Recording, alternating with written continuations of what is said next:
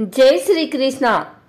आइए सुनते हैं आज एकादशी पर गीता का यह अध्याय। श्री महादेव जी कहते हैं, प्रिय, गीता के वर्णन से संबंध रखने वाली कथा एवं विश्व रूप अध्याय की पावन महात्म्य को श्रवण करो। विशाल नेत्रों वाली पार्वती, इस अध्याय के महात्म्य का पूरा पूरा वर्णन नहीं किया जा सकता। इसके संबंध में सहस्त्रों कथाएँ हैं, उनमें से एक यहाँ कही जाती है प्रणीता नदी के तट पर मेघड़कर नाम से विख्यात एक बहुत बड़ा नगर है। उसके प्रकार चार दीवारी और गोपुर द्वार बहुत ऊँचे हैं। वहाँ बड़ी बड़ी विश्राम विश्रामशालाएँ हैं, जिनमें सोने के खंभे शोभा दे रहे हैं। उस नगर में श्रीमान सुखी शांत सदाचारी तथा जितेंद्रिय मनुष्यों का निवास है। वहाँ हाथ में सार्ग नामक धनुष धारण करने वाले जगदीश्वर भगवान विष्णु विराजमान हैं। वे परम ब्रह्मा के साकार स्वरूप हैं। संसार के नेत्रों को जीवन प्रदान करने वाले हैं। उनका गौरवपूर्ण श्री विग्रह भगवती लक्ष्मी के नेत्र कमलों द्वारा पूजित होता है। भगवान की वह झांकी बामन अवतार की है। मेघ के समान उनका श्याम वर्ण तथा कोमल आकृति है। वक्ष स्थल पर श्रीवत्स का चिन्ह शोभा पाता है। वे कमल और बनमाला से विभूषित हैं। अनेक प्रकार के आभूषणों से सुशोभित हो। भगवान बामन रत्न युक्त समुन की सदृश जान पड़ते हैं। पिताम्बर से उनके श्याम विग्रह की कांति ऐसी प्रतीत होती है। मानो चमकती हुई बिजली से घिरा हुआ स्निग्ध मेघ शोभा पा रहा हो।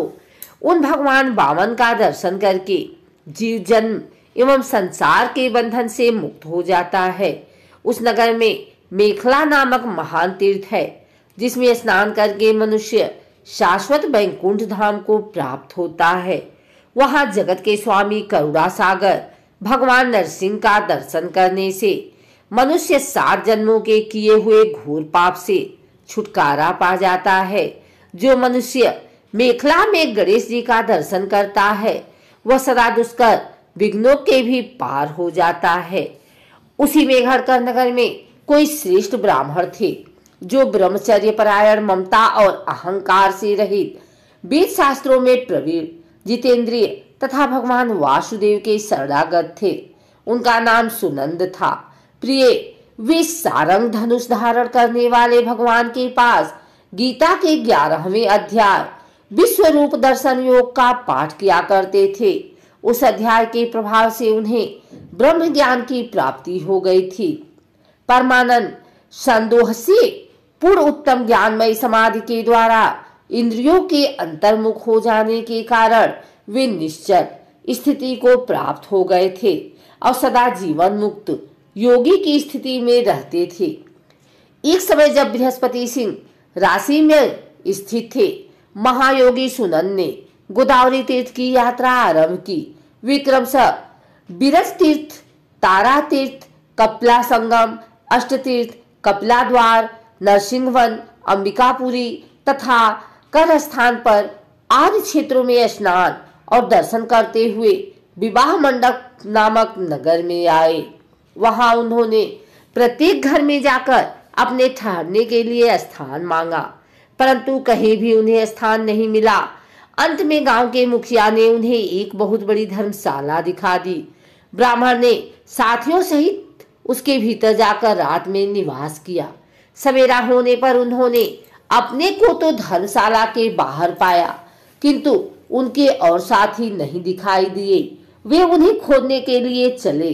इतने में ही ग्रामपाल मुखिया से उनकी भेंट हो गई। ग्रामपाल ने कहा मुनि श्रेष्ठ तुम सब प्रकार से दीर्घायु जान पड़ते हो। सौभाग्यशाली तथा पुण्यवान पुरुषों में तुम सबसे पवित्र हो। तुम्हारे भीतर कोई लोकोत्तर प्रभाव विद्यमान है। तुम्हारे साथी कहाँ गए और कैसे इस भवन से बाहर हुए, इसका पता लगाओ। मैं तुम्हारे सामने इतना ही कहता हूँ कि तुम्हारे जैसा तपस्वी मुझे दूसरा कोई नहीं दिखाई देता। विप्रवर, तुम्हें किस महामंत्र का ज्ञान है? किस विद्या का आश्रय लेते हो? तथा किस देवता की दया से तुम्हें अलौकिक शक्ति आ गई है? भगवान कृपा करके इस गाँव में रहो। मैं तुम्हारी सब सेवा, शुश्रूषा करूँगा। यो कहकर ग्रामपाल ने मुनीश्वर सुनंद को अपने गाँव में ठहरा लिया। वह दिन रात बड़ी भक्ति से उनकी सेवा टहल करने लगा। जब सात आठ दिन बीत गए, तब एक दिन प्रातः काल आकर वह बहुत दुखी हो। महात्मा के सामने रोने लगा और बोला, हाय, आज रात में राक्षस ने मुझ भाग्यहीन के बेटे को चबा लिया है। मेरा पुत्र बड़ा ही गुणवान और भक्तिमान था। ग्रामपाल के इस प्रकार कहने पर योगी सुनंद ने पूछा, कहाँ है वह राक्षस और किस प्रकार उसने तुम्हारे पुत्र का भक्षण किया है? ग्रामपाल बोला, ब्राह्मण इस नगर में एक बड़ा भयंकर नरभक्षी राक्षस रहता है। वह प्रतिदिन आकर इस नगर के मनुष्यों को खा लिया करता था। तब एक दिन समस्त नगर वासियों ने मिलकर उसे प्रार्थना की, राक्षस, तुम हम सब लोगों की रक्षा करो। हम तुम्हारे लिए भोजन की व्यवस्था किए देते हैं। यहाँ बाहर के जो पथिक रात में आकर नींद लेने लगे, उनको खा जाना। इस प्रकार नागरिक मनुष्यों ने गाँव के मुझ मतलब मुखिया द्वारा इस धर्मशाला में भेजे हुए पथिकों को ही राक्षस का आहार निश्चित किया। अपने प्राणों की रक्षा के लिए ही उन्हें ऐसा करना पड़ा। तुम भी अन्य राहगीरों के साथ इस घर में आकर सोए थे, किंतु राक्षस ने उन सबों को तो खा लिया। केवल तुम्हें छोड़ दिया। द्विजोत्तम, तुम में ऐसा क्या प्रभाव है? इस बात को तुम्हें जानते हो। इस समय मेरे पुत्र का एक मित्र आया था। किंतु मैं उसे पहचान न सका। वह मेरे पुत्र को बहुत ही प्रिय था।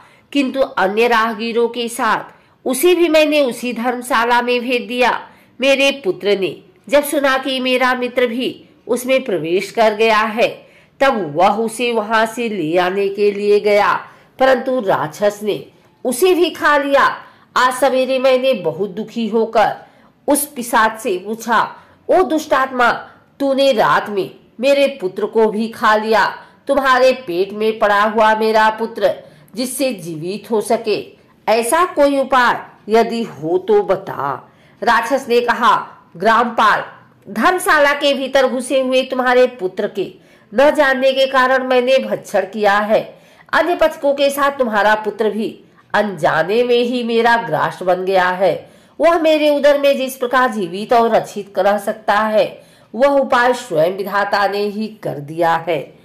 जो ब्राह्मण सदा गीता के ग्यारहवें अध्याय का पाठ करता हो, उसके प्रभाव से मेरी मुक्ति होगी और मरे हुओं को पुनः जीवन प्राप्त होगा। यहाँ कोई ब्राह्मण रहते हैं, जिनको मैंने एक दिन धर्मशाले से बाहर कर दिया था।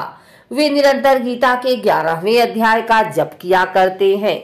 इस अध्याय के मंत्र से सात बार अभिमंत्रित करके यदि वे मेरे ऊपर जल का छीटा दे तो निसंदेह मेरा श्राप से उद्धार हो जाएगा। इस प्रकार उस राक्षस का संदेश पाकर मैं तुम्हारे निकट आया हूँ। ब्राह्मण ने पूछा, ग्रामपाल, जो रात में सोए हुए मनुष्यों को खाता है, वह प्राणी किस पाप से राक्षस हुआ है?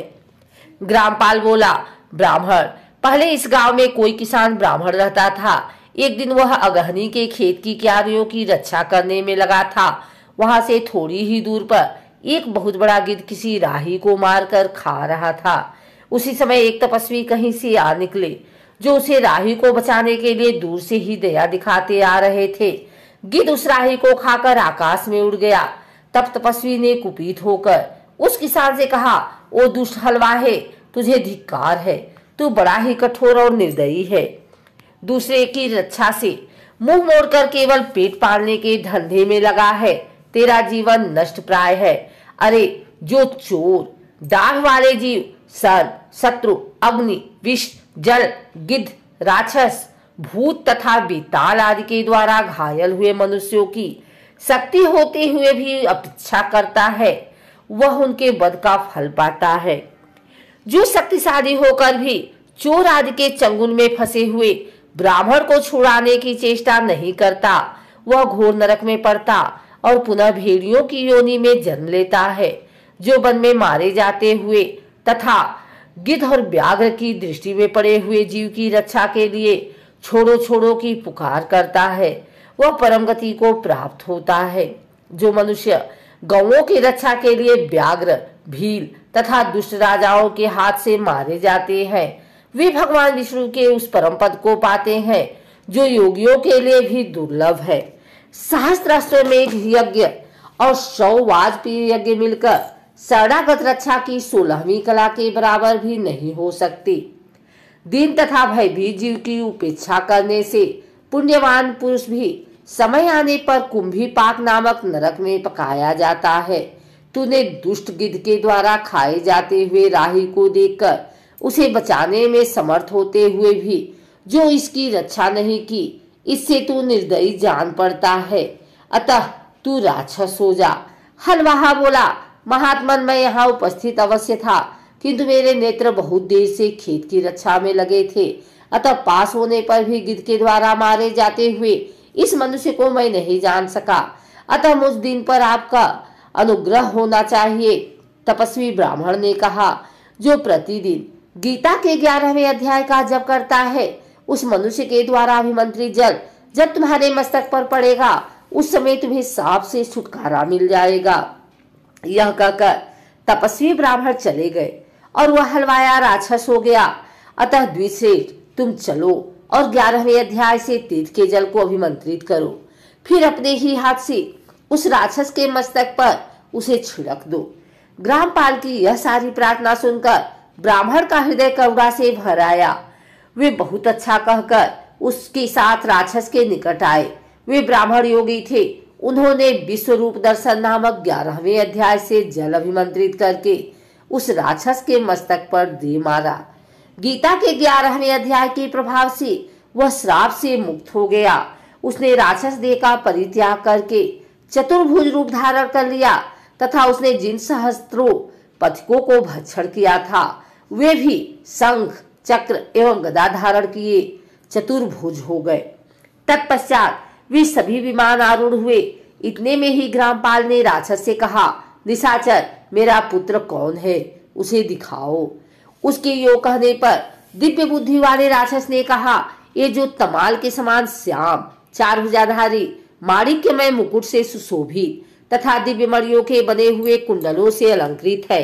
हार पहनने के कारण जिनके कंधे मनोहर प्रतीत होते हैं, जो सोने के भुजबंधों से विभूषित, कमल के समान नेत्र वाले स्निग्ध रूप तथा हाथ में कमल लिए हुए हैं और दिव्य विमान पर बैठकर देवत्व को प्राप्त हो चुके हैं इन्हीं को अपना पुत्र समझो यह सुनकर ग्रामपाल ने उसी रूप में अपने पुत्र को देखा और उसे अपने घर ले जाना चाहा।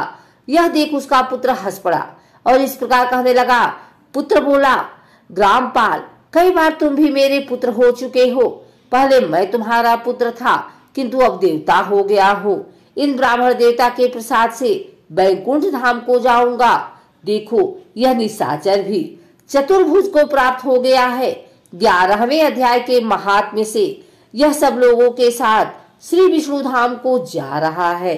अतः तुम भी इन ब्राह्मण देव से गीता के ग्यारहवें अध्याय का अध्ययन करो और निरंतर उसका जप करते रहो। इसके संदेह नहीं कि तुम्हारी भी ऐसी ही उत्तम गति होगी। तात, मनुष्यों के लिए साधु, पुरुषों का संग सर्वथा दुर्लभ है। वह भी इस समय तुम्हें प्राप्त है। अतः अपना अभिष्ट सिद्ध करो। धन, भोग, दान, यज्ञ, तपस्या और पूर्व कर्मों से क्या लेना है? विश्व रूपाध्याय के पाठ से ही परम कल्याण की प्राप्ति हो जाती है। पूर्णानंद संदोष स्वरूप श्री कृष्ण नामक ब्रह्मा के मुख से कुरुक्षेत्र में अपने मित्र अर्जुन के प्रति जो अमृतमय उपदेश निकला था, वही श्री विष्णु का परम तात्विक रूप है। तुम उसी का चिंतन करो। वह मोच के लिए प्रसिद्ध रसायन है।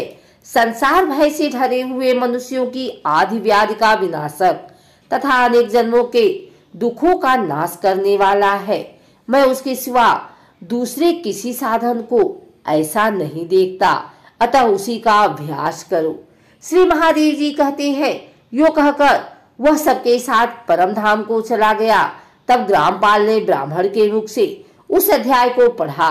फिर वे दोनों ही उसके महात्म्य से विष्णु धाम को चले गए। पार्वती, इस प्रकार तुम्हें ग्यारहवें अध्याय भागवत गीता की कथा सुनाई है।